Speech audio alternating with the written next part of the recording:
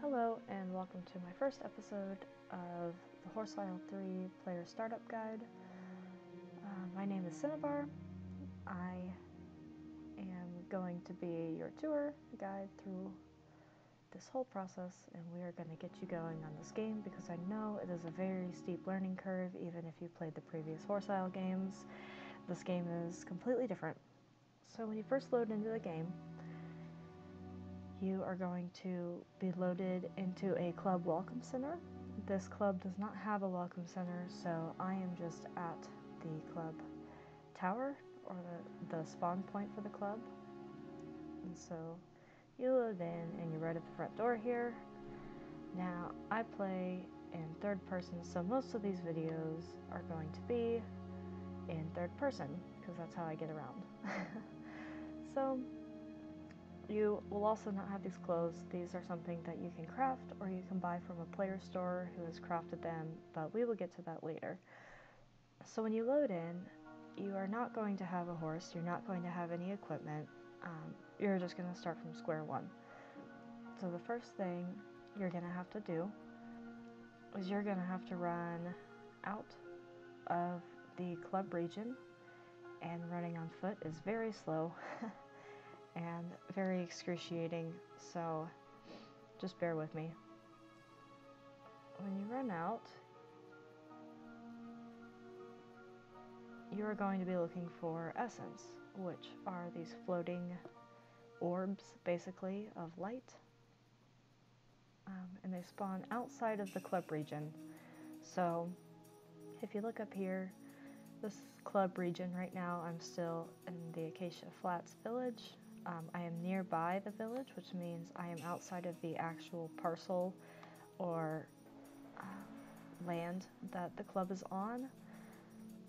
I'm just outside of it, so it's still considered the club property, uh, but the club can't build on it. It's just kind of a buffer zone. So club courses and things like that can't be put on it. So I'm going to run past that, where I will still be in the club region. Club regions extend 1.5 kilometers in each direction. And so there we go. I'm outside of the club parcel region, but I'm still in the um, village region. So these up here, here we go. This is essence. And so you're going to run up, and when you get close enough, it will kind of come to you, like so get a few meters away from it, it'll float over to you. So you don't have to be right, you know, you don't have to run through it. Um, just getting kind of close to it. Now, I am subscribed um, to the club, which is, you know, your monthly or annual subscription to the game. And because of that, you notice when I pick up the essence, I get three. Uh, if you're not subscribed, you just get one, which is still fine. Uh, you can build that up a lot. It just helps to get three every time. And so if you played the previous Horse Isle games, you kind of know already what these findables are, and I'm lucky here I have two of them. Uh, this is a mother horse stone. Sometimes they're laying down like this, sometimes they are standing up, and you can see that they glow. You hit E is the default. I have X on my keyboard to pick things up. So hit X and it gives you some gold dust. Run over here, collect some more essence.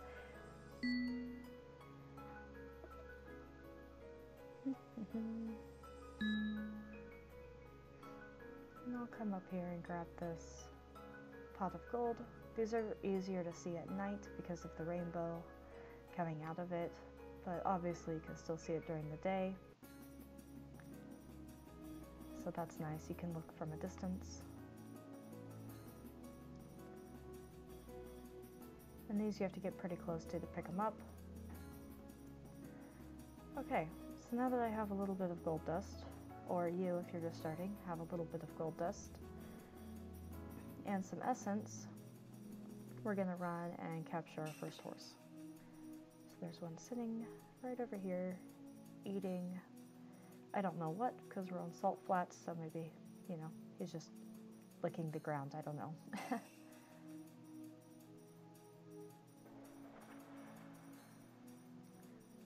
To run over.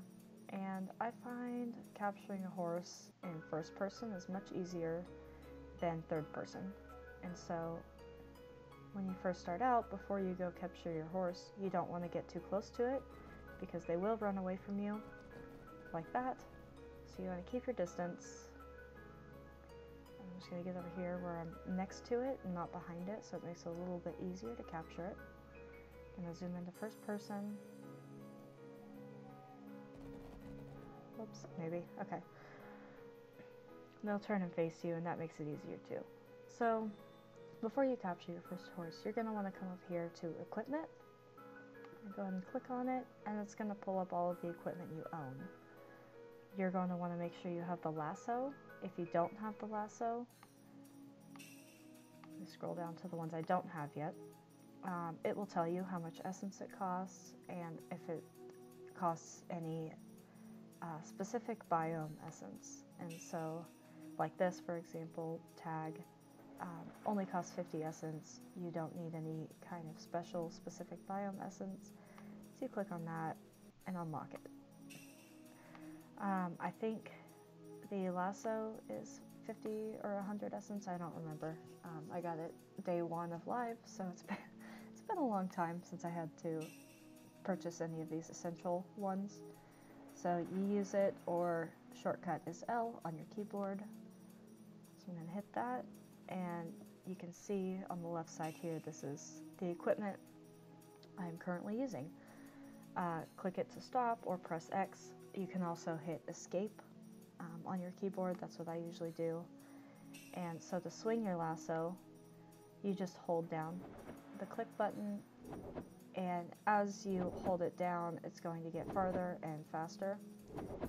And you just try and release it uh, when it gets to the horse's neck. And as you can see, it takes a little practice. Nope. Good thing this is a patient wild. There we go. So I captured my first horse, or you captured your first horse. Congratulations.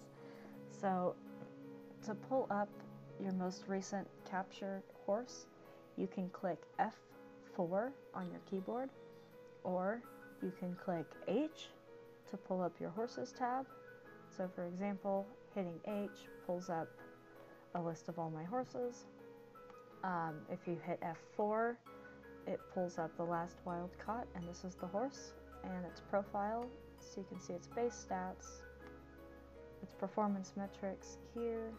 So this is um, people that breed for competitions and stuff. This is all very important to them. Some people breed just for personality, and so this horse actually is pretty good. He's uh, what we call 5 out of 6, which means 5 of his 6 personality traits are above 50%. Uh, his only personality that's less than 50% is leader, uh, which is good. So leader doesn't affect you being able to ride him. He's not too fast, but we're to hop on him. Uh, you can release a wild that you catch for a short period of time. I do not recommend doing this, and I will tell you why later. Uh, you're able to sell these wilds uh, at a club for money, and so that's that's a really really good way to get gold dust. So do not uh, do this. They will not pop back up in the world. They will just disappear. so I do not recommend doing that. This is a mare, uh, 6.3 years old. When you capture them, they're going to be an unidentified breed. Uh, there's a, a thing you can research in a club library. They're called tomes. Again, we will get to that later. But there's one you can do that will automatically identify the breed of the horse, which is good if you're starting and you think you find a lucky find or something like that. Otherwise, it's, you know, not that important. It doesn't really matter what kind of breed the horse is unless you're breeding for it or you like the horse's conformation and want to keep it. So I'm going to go ahead and mount. I don't have any tack or anything and the horse doesn't have experience. So there's a message that's going to pop up there. It's going to be a rough ride. This horse is going to be very slow and you're probably going to fall off a lot. So you just hit the up arrow on your keyboard to get going. Still faster than running around, which is nice. And he's super cute. Trotting around. And so this is a good way, once you capture one, to go a little bit faster exploring the area, capturing essence, and finding those uh, findables that will give you some gold dust. You're probably wondering what, oh, yep, see, I fell off. So to get back on, you click F on your keyboard, or you can click on the horse and mount them and get going again. It's easier to hit F and you just automatically remount. You can also do this to dismount, so if you hit F again, you'll hop down. It's gonna take a minute. So you're probably wondering what those buildings are in the distance. That is a player's ranch. Um, and those are just very basic buildings and you can change the colors of them and stuff. You can see they also have a course on there. Uh, so that's pretty cool. That's something that we'll get into later as well. Or if you want to, you know, hop into that now, you're welcome to. I just do not recommend it. So we are going to go back into town now that we have a pony.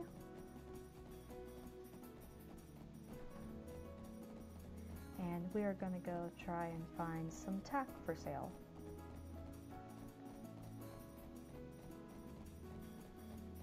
If you don't want to ride all the way back into town, or go find a club, or if you're out in the middle of nowhere and you're very not close to a town, I'm still kind of close to this one, so I'm just going to ride up here. Um, if you're not, you can hit escape and it will pull up your menu bar. You can click club and if you're part of a club, you can quick travel to your club's place. It will tell you how much it costs. Uh, this is your travel bar. So anything, anytime you quick travel anywhere, whether it be to a club, a ranch, a course competition, anything like that, it's going to use this travel bar. There are ways to refill it, um, but we'll get to that later. So, list of all known clubs. I'm going to go by distance. And so if you're not, if you're out in the middle of nowhere, you can pull this up.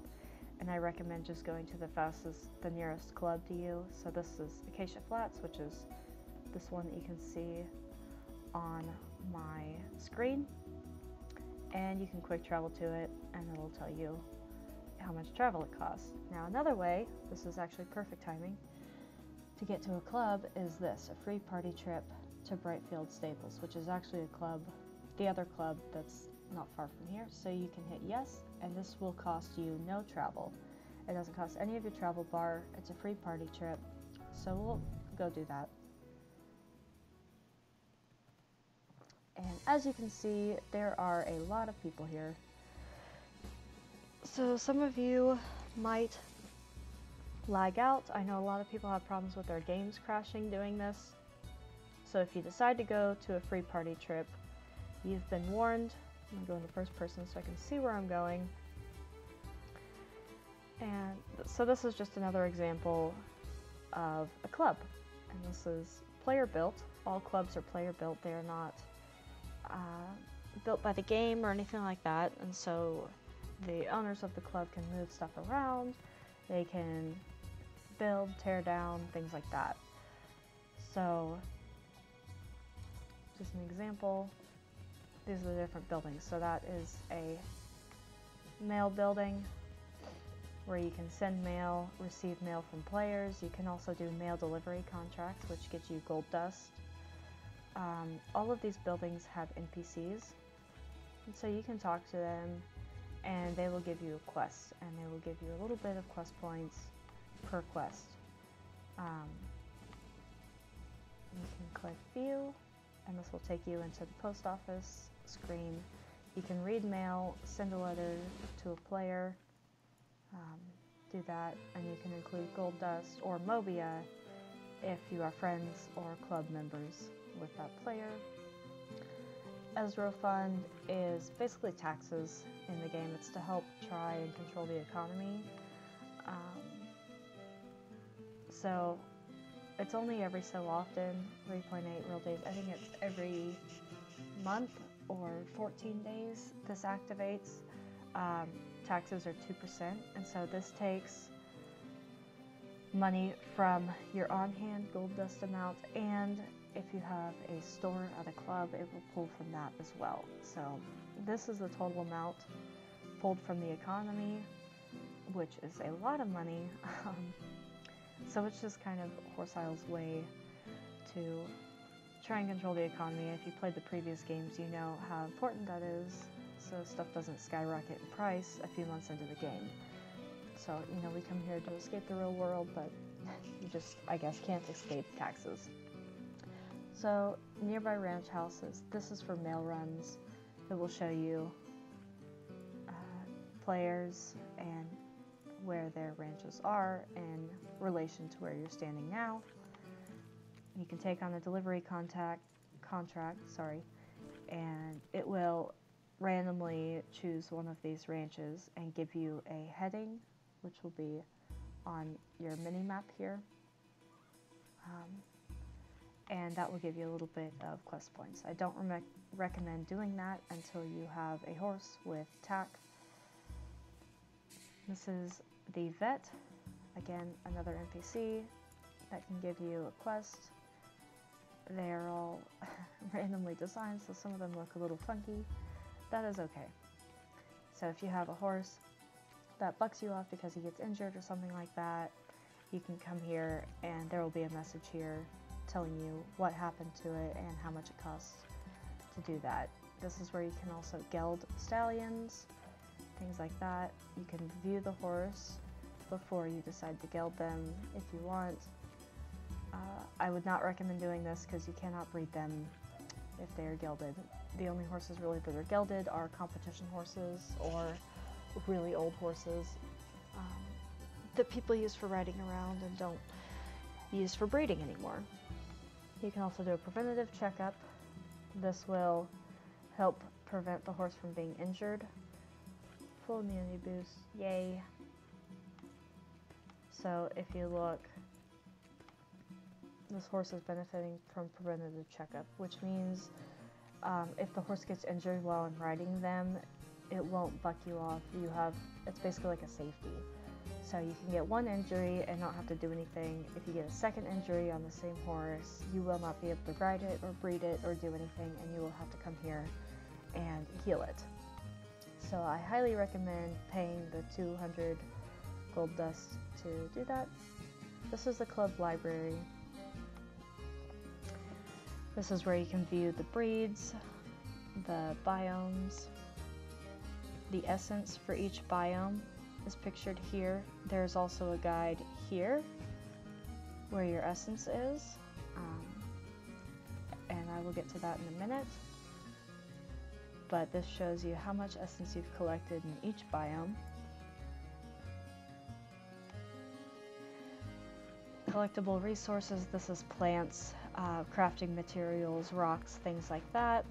You can click on it and it will tell you what it is, where you can find it, certain volcanic regions, and what it can be used for. So this is only used for dyes, um, and this is the color it makes. So that's useful for various reasons. Craftables, this is everything you can craft at your ranch or at a club tower. Recipes, textiles, um, cheat codes. So like I said earlier, the clothing you can make, you can craft this at your ranch once you get it built, or you can buy it from a player who has already crafted. You can click on it and it will tell you how many of that item you have. So if you're trying to make overalls, I don't have any these are the materials you need for it. So I have enough cotton bolts for it and I have enough rope. So if I wanted to make overalls, I could do that.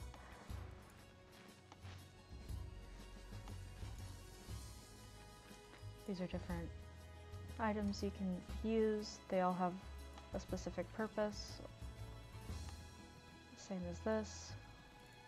There's a lot of stuff you can make in this game. Um, you can really customize your player and your horse. Jewelry included. And of course some tack. Uh, plushies, this was a new addition to the game. These are, you find them in caves, and they're basically little stuffed animals that sit on the rump of your horse. Uh, again, you can find them in caves, and they're like little black boxes. Um, I will go over that in a different video. But they're cute. They're a cute addition. They're kind of like pets. They give your horse a little bit of a bonus. Um, an imbuement bonus is what it's called. And so these are just the different kinds. There's a lot of them, and it's all randomized. Other items. So these are all uh, the random animals that you can find in the game. Uh, tells you what biome they're found in. There's a lot of them. Pretty cool. If you're looking for a certain animal to take a picture of or something like that, this helps a lot. And then, as I mentioned earlier, the tomes that you can research, like the one um, that automatically identifies your horse's breed when you catch it. So up here, subject worthy of studying. This is the list of different ones you can research. I can have four because I have an active sub, which gives me one, 50k player experience, which gives you another one, 10 million player experience, which is a lot of player experience. I'm not there yet, so I don't have that one. 10k quest points, I don't have that one either yet, I'm working on it. 100,000 quest points, again, obviously I don't have that if I don't have the 10k. And I just did get uh, my 10,000 player points. So, total you can have 1, 2, 3, 4, 5, 6, 7. Currently, um, I think that's a little excessive, but there are some people that already have these numbers of experience and points in the game, which I think is very impressive. Um, I've been playing this since day one of live, and I'm not even close to any of those. So, kudos to those people. Um, these are the ones I have. I have the Harvester, odds of double collection. This applies to almost anything you pick up in the game, aside from the plushies that I mentioned you can find in caves, and obviously wild and um, lucky findables like pots of gold, mother horse stones, things like that.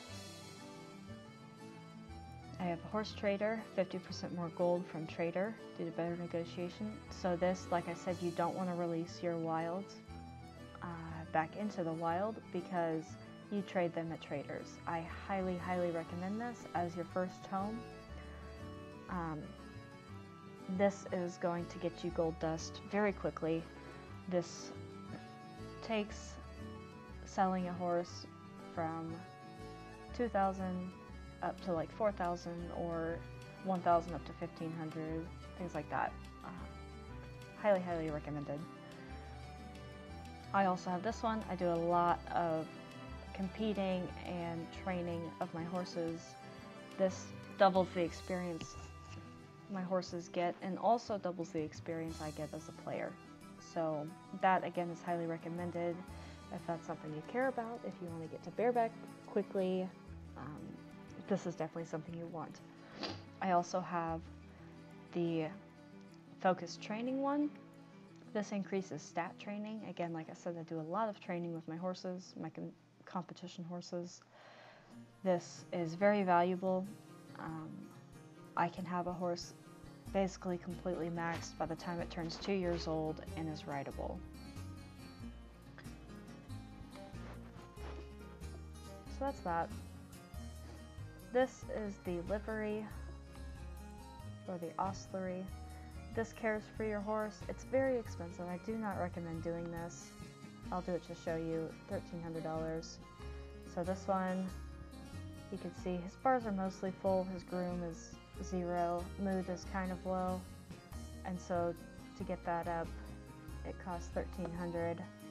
and all it does is fill the groom and pull the mood up a little bit. So I do not recommend doing this unless you have absolutely no food or water or you're not by any food or water and you need to care for your horse. This is the dye station. These are all my dyes. Um, you can craft them, you can experiment with all the different plants and things you've collected. Like I said earlier, that bird of paradise I looked at in the library is only used for dyes, so you can add however many you want, and it will tell you over here what all you have added, and then when you have the amount of ingredients you want, um, so like for example, if I did one spinach and a water iris, come up here, one spinach, one water iris. Save it. Oh, there's my foal drop. so as you can see, when you breed and you get foals, you get a lot of experience. Wait for this to stop. okay. Sorry about that. Back to crafting the dyes. Craft it, and this is the dye I came up with.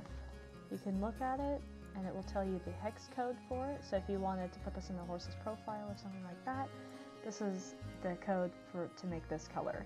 These are the ingredients I used. Going back, that's the color. That's that. This is the horse expert. This is where you will identify the breed. So like that horse I caught earlier, this one, identify the breed, It takes a minute. She's a grade pleasure horse. So you can do that. You don't have to do this to sell your horses at the trader um, unless you're trying to sell a specific kind of horse for a little bit more gold dust.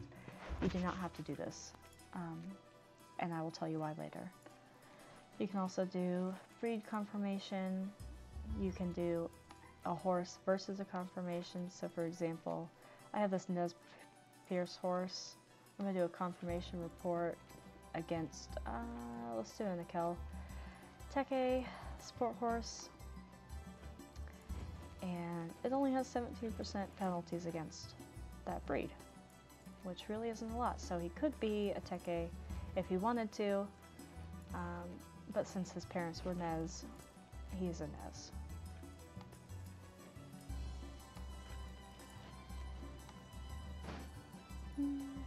You can also do determine genetics. This will determine the color genetics of a horse. So if I go to that horse, you go to their genes, these are his color genes. There is a topic in the forums that highlights this and tells you what all these things do. I'm not going to get into that right now, that's pretty advanced. Um, but you can do that if you wanted to, if you're breeding for color, that's very important. Moving on, this is the auction house with this little auction hammer on it. And these are player sold horses. You can view them. Thoroughbred filly, he's kind of cute. Good personality.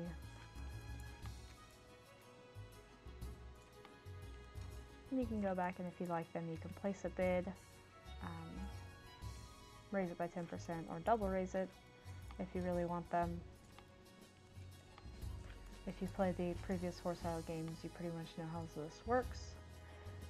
You can sort it by bid amount, which does increasing to decreasing value. So the most expensive ones are going to be listed on top, and the cheapest ones will be at the bottom.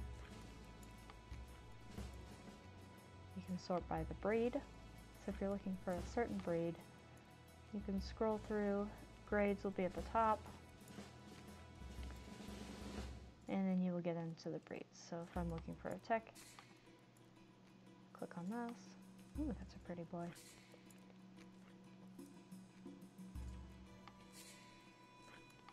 And you can view them that way.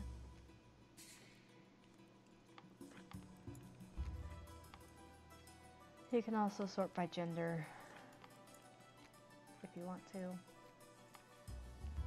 Pretty simple. pretty straightforward. And then you list to put one of your horses in auction if you wanted to. These are the horse traders. These are very, very important for the game.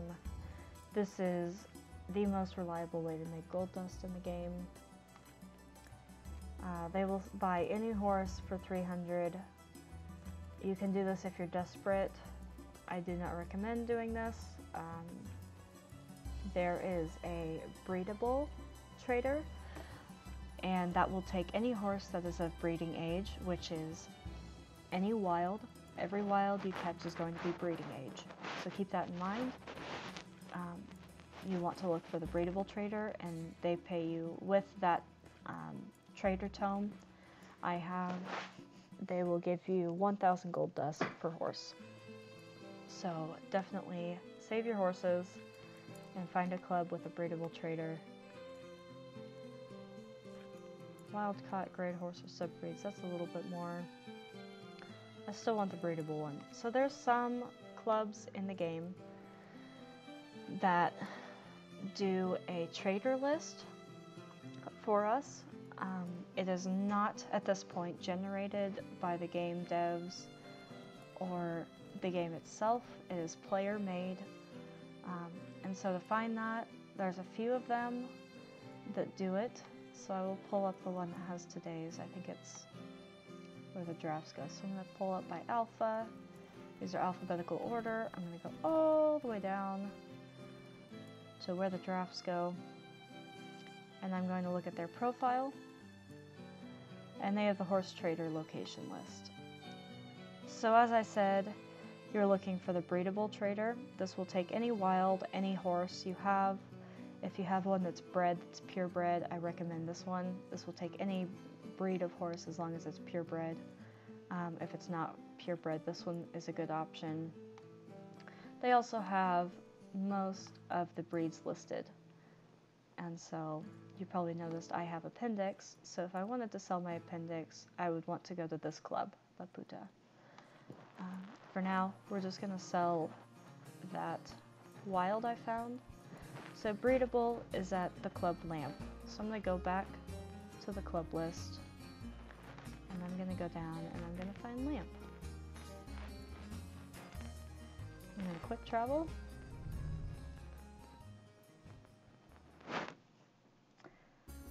their horse traders are front and center, which is very nice.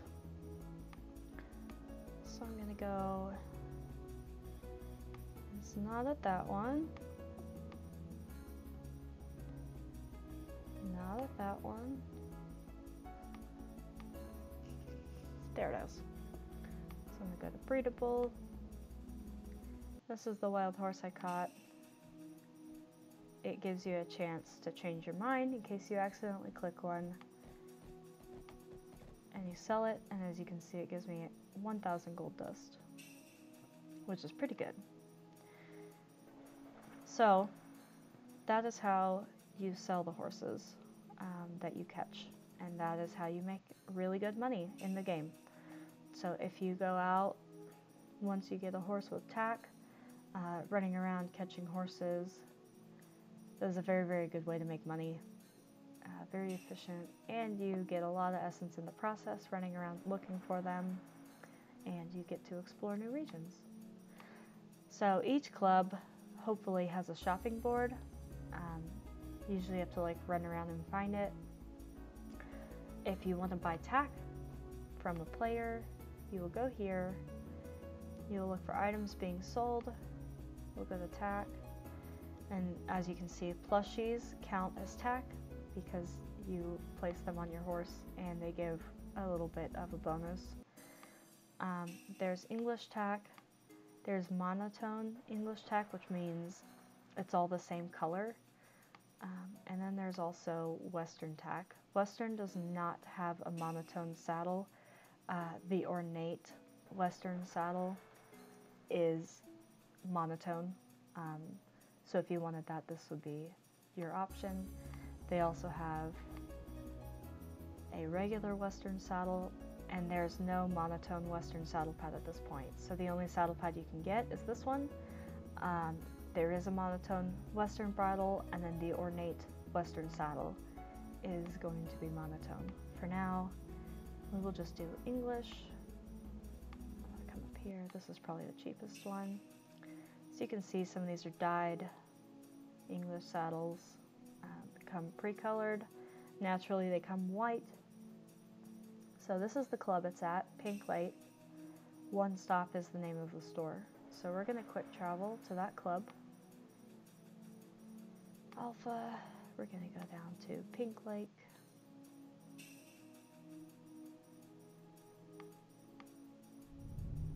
And we're going to go find the store.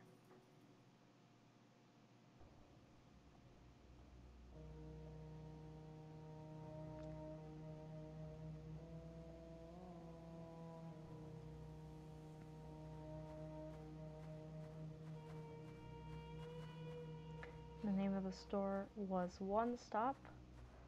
So these are all player stores. I'm going to find One Stop. It's right there. Cross this little river. Go up and click on it. And there's the tack. So they have a full set. I'm going to go ahead and buy this. Buy this. And you only need a saddle pad if you want decorative items, you can get that as well. I just need the basics. We're going to pick a horse. Um, all of my horses have tack. I'll put that tack on this one. So when you go into the horse's profile, you're going to want to tack them up. Here's the saddle pad I bought saddle I bought, and the bridle I bought. How pretty. So now your horse is tacked up. So when you mount them, zoom out again, you can turn a lot faster. You can run a lot faster. You can stop and you will not fall off unless your horse is ornery and bucks you off. Uh, when you catch wilds, I know in the previous games there's a, a learning, or yeah, I guess a learning curve with the horse where they buck you off periodically until they get to a certain amount of experience. That is not the case in this game. If you catch a wild and you put tack on it, like I said, it will not buck you off unless it's ornery. And that is a personality trait. That is not um, every wild. So here's another wild. Go in first person, pull out my lasso.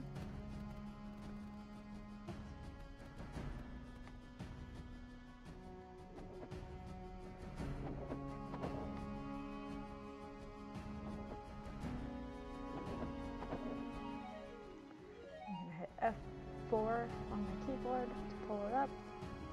It's another mare. She does not have a good personality, so this was not a horse I would want to ride. She's stubborn, uh, she's ornery, which means she's going to buck you off, and she's lazy, which means she will not keep her speed. Um, if you let go of the up arrow, she will start to slow down. Not a very good horse, but she will get me 1,000 gold dust at the horse trader, which is nice. Zoom out again. And I'm just going to go out and start exploring.